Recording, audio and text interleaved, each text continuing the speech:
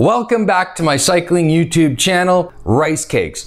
These are professional rice cakes. What do I mean by professional? My coach, he's on Team Astana, and this is the recipe that they are using, and I'm gonna show it to you guys today. I'm here with my beautiful daughter. I'm blessed to have amazing children. She helps me so much, and hopefully I help you too.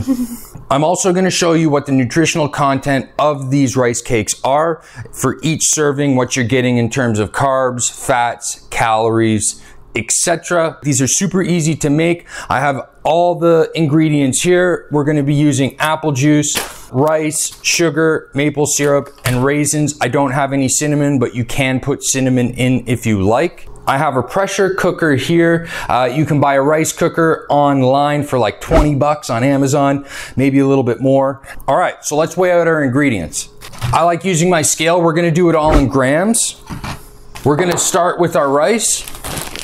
We want a thousand grams of rice. This is a double batch I'm doing. There we go, thousand grams into the rice cooker. We're gonna put in a 100 grams of sugar. 100 grams of sugar. A 100 grams of raisins. There we go. Eat one. 100 grams of raisins. Then we're gonna do 120 milliliters of maple syrup. Going in. Then we're gonna do 800 milliliters of apple juice.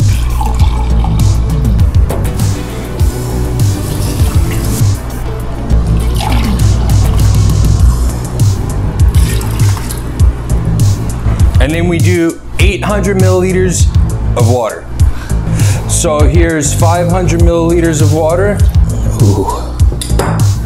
Just enough. And then there's the last 300. So we mix it all up, nice and toasty. Now that we're all mixed up, we start it up. This should only take about 30 minutes before it's done, maybe 20 minutes because this is actually a pressure cooker and it cooks things a lot faster. Um, but you can get a rice cooker online, very, very inexpensive, like $20. And if you're doing this regularly, it'll save you, you know, a lot of the headache of making sure checking it when you're when you're simmering it on the stove. But if you can't get a rice cooker for whatever reason, a pot on the stove will work. I think the cooking times depend on the size of batch you do. We did a double batch today, so if you want to do a half batch, just cut it, cut everything in half. I'm gonna put all the ingredients in the description, so take a look there. And uh, yeah, we're gonna come back when this is done, and then I'm gonna show you how to turn them into rice cakes. Let's go. My beautiful wife is substituting for my beautiful daughter. We're back, the rice is cooked, and now we're gonna put it down on our pan. All right, we're just gonna line our baking sheet with some, what's it called again? Parchment paper. All right, now let's take a look at our rice. Let's see how our rice looks. How are we looking?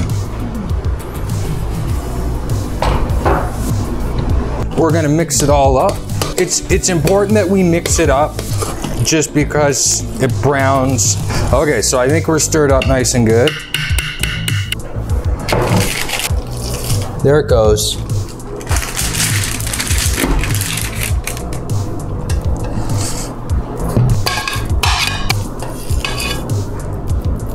This might be the hardest part of the whole thing, and you just want to flatten it out.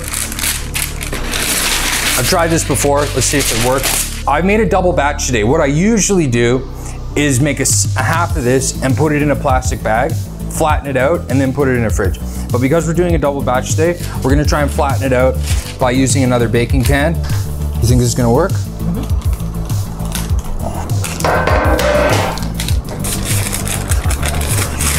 You know, spray. This, I think that worked well. So once you do that, kind of flatten it out and make it as square as possible. There we go. Perfect.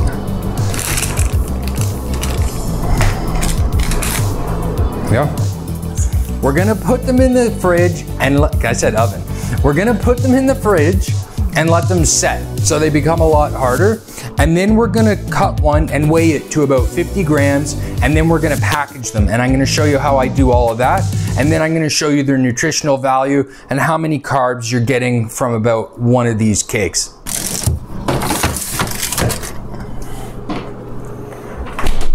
Do you want a Wahoo Element Roam for free?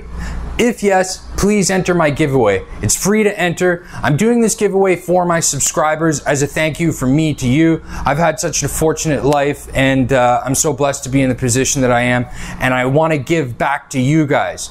And this is why you should subscribe. I'm going to grow this channel and I'm going to be giving away lots of stuff. My goal and my dream is to give away bikes, full bikes, Dura-Ace Di2, top model, top brand, top spec, whatever. I'm gonna be giving away bikes one day and you could win one. So I think that's an awesome reason to subscribe. So please subscribe and we're gonna do this together. All right, let's get back to the rice cakes. It's the next day, we've let them sit overnight and it happens to be my wife's birthday. Some flowers her friend got for her. Now we're gonna cut these. What we wanna do is weigh one out to 50 grams so we have an idea of what that size is. And then we know that a 50 gram piece of this is gonna give you about 35 grams of carbs.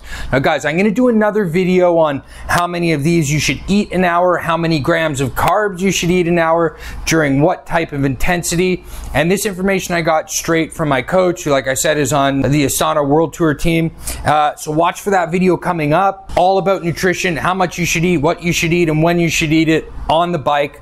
That's coming. Watch for it, like I said. In terms of other nutritional value, these don't really have anything else. It's negligible. You might get a gram of protein here and there from the rice or the raisins, but everything else is pretty much carbohydrates. I bought these pre-squared tinfoil and they're really helpful. Lots of calories, oh. energy calories. And what we're what's so great is it's only carbohydrates and that's what we want out there is only carbs. So what's that? Ooh, that's huge. Look at that. Oh, wow. 90 grams. There we go. So it's a little big. So we're gonna try and make all of our pieces about this size. So let's cut it in half first.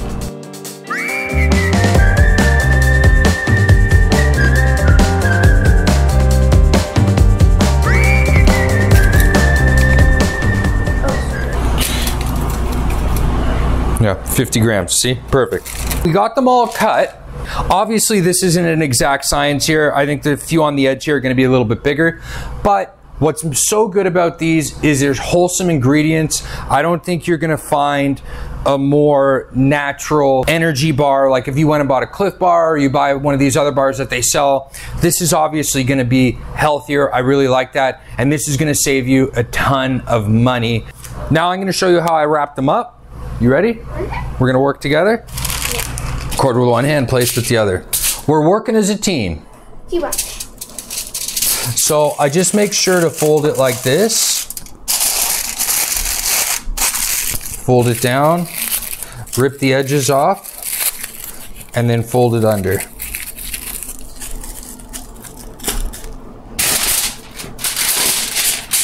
Okay.